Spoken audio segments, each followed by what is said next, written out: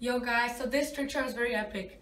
So what it's gonna do, it's gonna first go there and then land over there. Let's do this.